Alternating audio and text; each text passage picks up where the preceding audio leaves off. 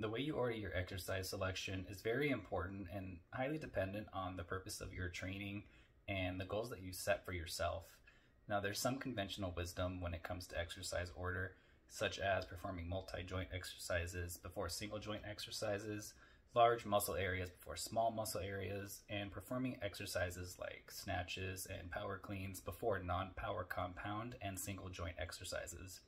Uh, these are great guidelines to follow as a general rule, since power exercises require the highest level of skill and concentration and are usually more fatiguing than non power exercises.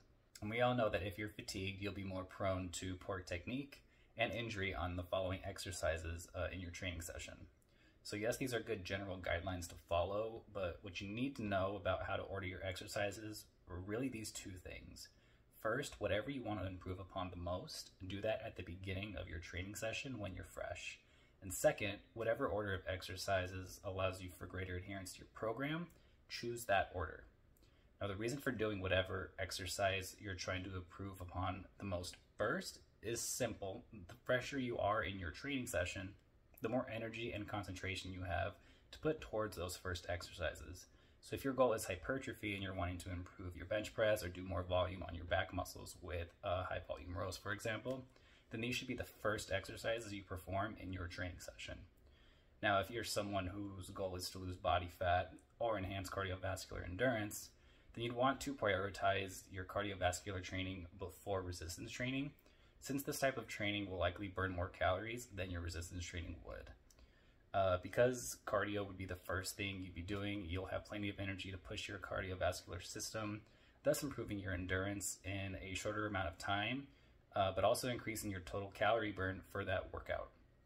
Now, uh, it would be ideal to separate cardio uh, from strength training by doing them in separate sessions or during separate days, considering the potential negative impact that concurrent training can have on uh, strength and hypertrophy in particular.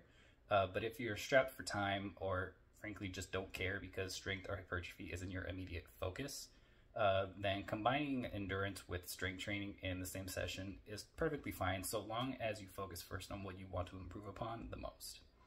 And lastly, choosing your order of exercises that allow you to enjoy your workout is paramount. Personally, I like to get my leg workout done first when I'm training full body because they're my least favorite exercises. I'd rather rip the band-aid off quickly when I train by getting these done sooner rather than later so I can enjoy the remainder of my training session. Uh, you might have the opposite feeling, and that's perfectly fine.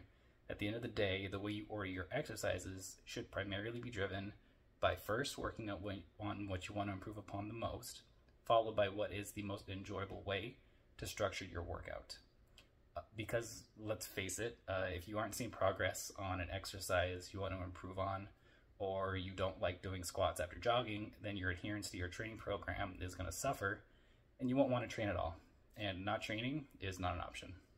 That's all I have for this video. Hope you found it helpful. If you have any questions about anything I talked about, let me know in the comments below. As always, thank you for watching, and I'll see you next time.